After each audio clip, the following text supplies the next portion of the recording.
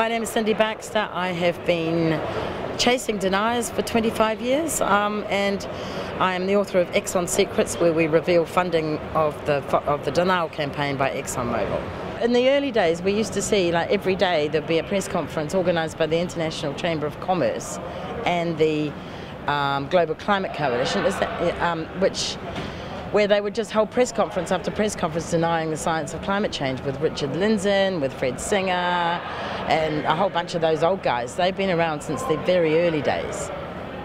And, and who were the groups who were behind them? It was the Global Climate Coalition and the International Chamber of Commerce, but the Global Climate Coalition in those days was just all the big oil, fossil fuel companies, big oil, big coal, big car companies, and all of that. They were the whole lot swung in behind the Global Climate Coalition. And later on, um, Shell and BP were the first ones to leave, and then so many others left due to public pressure that they transformed themselves into an association of associations. Uh, but then they closed their doors after Kyoto, after the US didn't sign Kyoto. So that's that. They said their job was done.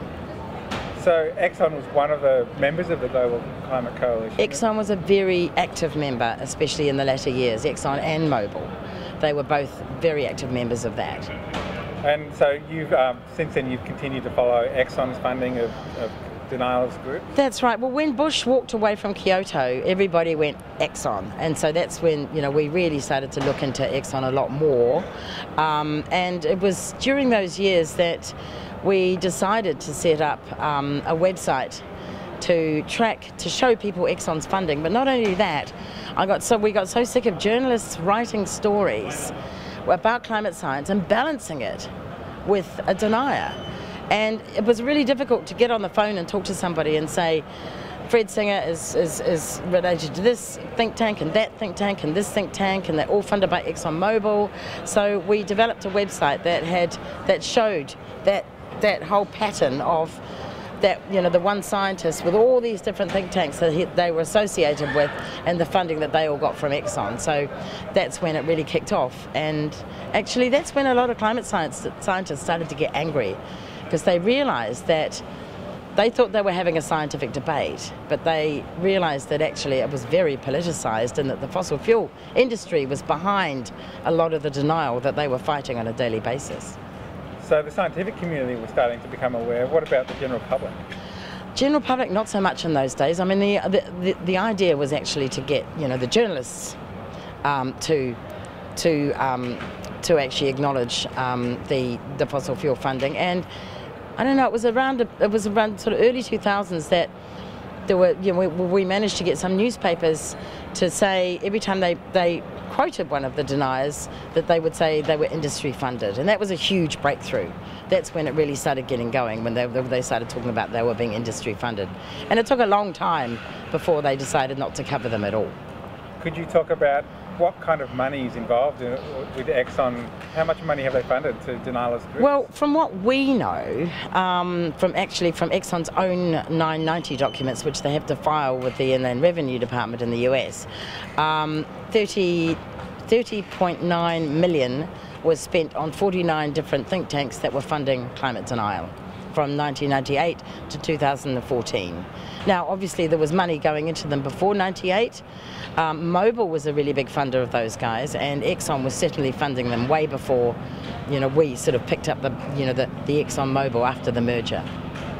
And uh, what other uh, ways were Exxon trying to involve, I guess, the, the political process or the IPCC process?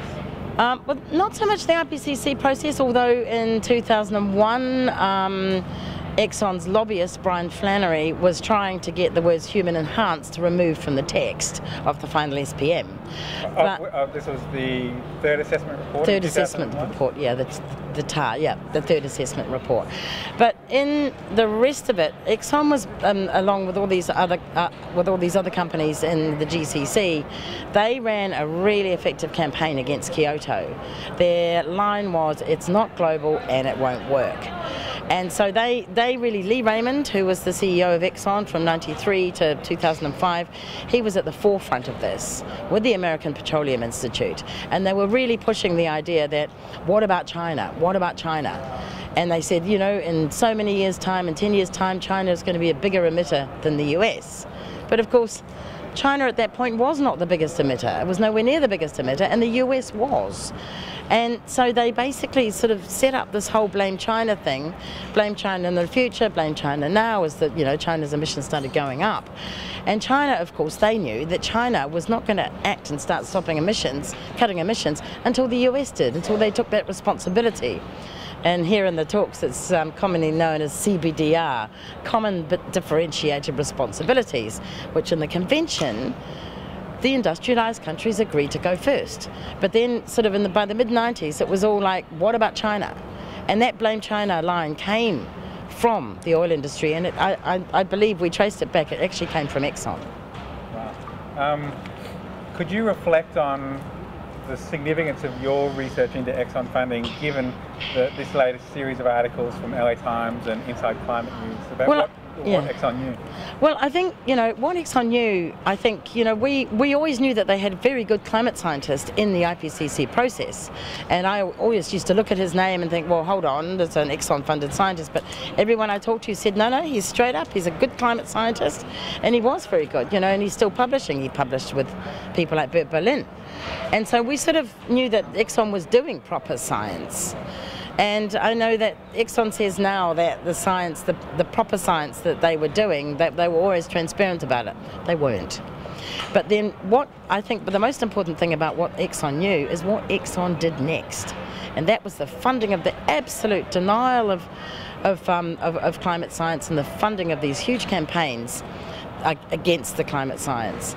And I think, you know, there was, there was a, 98 there was a a memo that was published. It was an API memo, and it was basically a record of a meeting in which Exxon was at and the Southern Company, but plus a number of think tanks that Exxon was funding. And that was um, that. I don't know if we never knew if it got if it got carried out because it got leaked, but essentially it was the campaign against Kyoto and US signing of Kyoto, and the whole premise was to, was to place uncertainty in the minds of the public and the minds of the media. And victory would be achieved when Kyoto was seen um, as an outlier. What's your comment on Exxon's response to the Inside Climate News articles, placing the emphasis on, on all the positive scientific research and, and really downplaying the misinformation? Well, exactly. Exxon's doing a complete straw man look over here you know, that's exactly what they're doing. They're, they're just completely avoiding the conversation about, about denial. I've seen Exxon's talking points and they're sticking to them rigorously and it's all about, of course we did proper science, of course we did. And that's not the point. And some people are getting that, but others are taking it you know, on, on, on board and saying, yeah, well, they did do proper climate science, but it's that's when you, but that's not looking at what Exxon did. And you know, and Exxon's also we've seen recently they've been going after Inside Climate News and sort of trying to say, trying to allege that it, the Inside Climate News is a sort of as a non-profit funded organisation with a particular point of view. So they've been really trying to shoot the messenger and and, po and point everybody in a completely different direction. But you know we've been getting the message out that Exxon, what Exxon did was fund climate denial. It was at the centre of the climate denial campaign. The other um, defence that Exxon has is that they, the funding that they supplied to these these conservative groups wasn't necessarily for climate denial, it was, it was for possibly other purposes. Well, no, but we know that's not true because we've seen their 990s and then we've seen their, their, their documents where they have to list the funding. And there was a couple of years where they actually slipped up and um, really sort of noted in the public funding of those um, of, of, of, their list of um, who they were funding. Uh, for, you know, they, they would say it was their climate campaigns, climate and energy research, climate education fund. And there was one year where we saw that they did very little in their public document, but then we got the 990 and they really listed out in that 990 what it was for, and it was for their climate change campaigns. It was very clear, they said it themselves. Could you tell us the, the story about uh, your investigation into Willie Soon's links with fossil fuel companies? Well, yeah, Willie Soon was, um, he was, we started looking into him because um, there was, um, eh, I mean, he was always, he was with the George C. Marshall Institute, which is an Exxon funded organisation, and his cohort, um, Sallie Baliunas, who was also at the Smithsonian Institute. So we started looking into the funding of these of, of these guys, and, and we, and the Smithsonian was, you know, in the US you get the very open, transparent freedom of information laws. So we applied to the Smithsonian to, to get a list of the funding that Willie Soon had received. And we found that from 2001 to the present day, Willie Soon has been funded to the tune of 1.25 million from fossil fuel, only fossil fuel interests, and he's only been funded by them. All of his pay have been funded by those guys since 2001. So we can see that. But he was funded by the American Petroleum Institute and others all the way back to the beginning of his, of his career in the, in the early 90s. He's, you know, he, he's been linked up with those, with the fossil fuel funded of funders since his, entire career. And, and what does the correspondence uh, between him and the fossil fuel companies that describe? Like, how do they characterise the, the research that he's providing? Well, that was very interesting because um, because Willie, you know, we, we we then went back and got a second well, actually, lot of. Could you talk about how you um, yeah. yeah. how did you get hold of that information and then what Well, we we then went back and got a second lot of freedom of information requests. We actually asked for the correspondence between him and his funders, and that's where it became really interesting because some of the deliverables that he listed were to give evidence based on his research to the House of, you know, on the Hill in um, to the House of Congress and you know and, and to Senate committees, and um, and you could it was very clear between the conversations between him and his funders that he was there to confuse the science. You know, Willie Soon's big thing has been the sun climate connection, which has been totally disproved, you know, proved to be wrong. There is, you know, the connection, the graphs go in different directions. So, you know, you can see that he was plotting with those companies um, to actually, you know, to to obfuscate the science. And he was also also with those companies, it was it was very much, you know, it, it was a very collegial discussion. You could see that they were quite friendly and oh look i'm doing some more stuff can you give me some more funding and it was all very you know it was all very friendly because you know hi i mean there was a point at which suddenly exxon didn't give them any more money and that was in a very interesting email that one but um, also we, we also you know the other thing that willie soon did was he he was part of this paper in 2007 which um, said that global warming wasn't happening, the Arctic wasn't melting, and polar bears were going to be fine. And that was that was money from Exxon, the Koch brothers, and the American Petroleum Institute. Uh, could you talk about this uh, latest revelation, um, where where two Greenpeace investigators have um, had went undercover and posing as fossil fuel companies? Well, that was very, yeah, exactly. I mean, the um, you know the Greenpeace investigation has really revealed what we thought has been happening a lot of the time. There's one particular scientist called William Happer, and uh, and and he's been he's he's given so much evidence on the Hill in in Washington. He's given so much climate denying evidence, and um, he and he's basically what we've uh, Greenpeace set up a sting, I guess you could call it, pretended to be a fossil fuel company and asked him if he, he and others would write papers and not disclose and uh, um, challenging um, the link between coal and climate change and um, and, and, and, and, and pro CO2 scientific papers, but not disclose his funding. And he was agreeing to do that. Another person in this investigation was um, William O'Keefe, which who has a long history. He was he was head of the Global Climate Coalition. He then was at the American Petroleum Institute. He was at the George C. Marshall Institute. He's been he's another person who's been at the centre of this.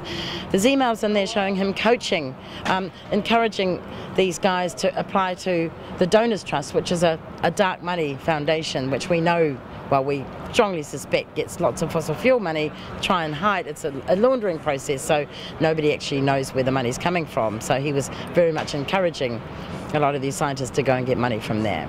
The Donors Trust is like the dark money ATM. I mean, I think probably as a result of the campaigning that us and a lot of others have done, like on the Koch brothers and on Exxon funding, um, these funders were like no longer willing to actually sort of, you know, Exxon willing to sort of show their faces and actually be nailed for funding these people. And so the Donors Trust was set up. Um, it's only been going for a few years to funnel that money, to launder that money through to these um, denial campaigns. And so there's, millions and millions have, um, have come from this trust. For example, Marc Morano and his Climate Depot, which is associated with the Committee for a Constructive Tomorrow, and they call themselves CFACT, he got four million to set up this trust you know, to set, from the Donors Trust to set up Climate Depot. That's what we think. It wasn't because we don't actually have the details of it, but it's a very suspicious couple of different foundations that are laundering process. So, so what role does the, these kind of investigations and do civil society groups like Greenpeace play in, in the, the effort to reduce emissions? Well, essentially, I mean, at the moment you say, I mean, the US is, or I mean, I think the, the most obvious example is the US, and the US's failure to come on board with Kyoto, the US's failure to act on climate change until very recently. Um, and so that's had a, you know, the world's biggest emitter for a very long time. Um, its failure to actually do um, to act on climate change is direct result of this climate denial because the US, the US media, the US public have been, you know, um, very much in doubt as to whether the science is real, um, all that sort of stuff. So basically, so essentially, why, what happened is that if there's funding all these right-wing think tanks and these neoliberal think tanks, the rest of their agenda is a very right-wing agenda. It's like less taxes, small government, all that sort of neoliberal agenda. So what they've done is they politicized um, climate science. So it's almost like left and right now. You know, if, if, if you know if you're on the Republican in the U.S. these days, you don't you don't accept the science of climate change. You don't believe in it. And that's actually had a huge effect on US legislation. It's why the US has not been able to act. And I mean, look at the presidential campaigns today. There's not one single Republican candidate who accepts the science of climate change. So yeah, it's had a huge. So so I think in exposing that, we're starting to shift the public and start. We're certainly starting to shift the media in the US, but there's still a long way to go. What role does resources like Skeptical Science have in, in helping communicators and scientists to respond to the misinformation? Well, Skeptical Science is great because it actually can give you and give a lot of media some understanding of the reality behind the science and, and, and, and the ridiculousness of the claims that these these um, these deniers have been making. And I think you know I think it's played a fantastic role in when people don't understand it, and especially journalists, they go to skepticalscience.com and they can actually get the full truth about about the um, you know about what these deniers are saying. And there's also the 97% consensus, which has been absolutely huge. It was tweeted by Obama. It's been absolutely huge in, in, in actually convincing people, because it's one of those facts that people see. They say, oh, okay, 97% of scientists agree with this. They don't really, people don't want to be in the 3%. So I think that's had a huge impact as well. So we're only a couple of days away from the end of COP. How do you think it's going and, and what's your perspective on the last week? Everything is open. Everything is open. Um, we still don't know. Uh, you know, we're hoping to get agreement that we should keep warming to 1.5 degrees. Um, as someone said yesterday, um, if the world, you know, whether we can actually get to 1.5, we can limit warming to 1.5, it's going to be very, very difficult, but if you aim for 1.5, we might at least keep warming below 2. And that's, that's the most important thing. That's the most important thing in play here. Because if you look at 1.5, to do that, you need full decarbonisation by mid-century of, of, our energy system. And also, you need to get the, um, if you have less warming, then there's less finance is going to be there for adaptation, and finance finance is a huge issue here. There's going to be less compensation needs to be paid for the liability, you know, for for, for the loss and damage that, that countries and people are suffering that they can't adapt to. So you know, it's it's it's right at the centre of all of this. You know, we're stuck on finance, we're stuck on loss and damage. The US is worried as anything about compensation and liability, but you know, as one of the small island state ministers said the other day, look, we don't have that much more, you won't have to pay so much. So why don't you get on and cut emissions? And that's the main thing. But what we've also seen is, you know, very much sort of a push by, you know, the, the oil producers, the Saudis, absolutely, you know, ruling out anything, blocking everything. And um, also big coal, coal, coal countries like India, um, you know, blocking, you know, with their coal companies all behind them and everything, blocking progress. And that's, you know, you can see the influence of the fossil fuel industry coming through. And people ask me, because I've worked on climate change for so long, they ask me, what would you do to stop climate change, Cindy? And I say, four words, separate oil and state. And that's, that's it. If you break that influence between the fossil fuel industry and governments, and you know, that's, you'll actually get movement because the people want it. People want to see it, it, it work.